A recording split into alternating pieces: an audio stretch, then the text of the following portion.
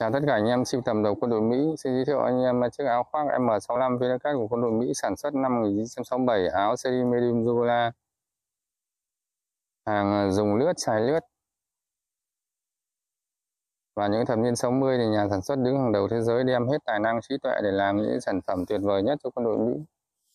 Đất nước Mỹ hùng mạnh à, về tài chính và trí tuệ đứng hàng đầu thế giới nên họ làm bất cứ sản phẩm gì đều là sản phẩm tốt nhất đứng hàng đầu thế giới mọi người yên tâm và yên tâm về chất lượng và thương hiệu. Mọi người à, mua sưu tầm để tặng anh em bạn bè, người thân hay mình dùng alo 0902 194 222 hoặc là số 0913 768826 để được phục vụ. Ngoài món đồ này ra thì còn áo bảo vệ giáp chống đạn, mũ chống đạn, quần áo sơ mi xanh à, túi chéo, quần M65 quần M51 mũ vải mềm.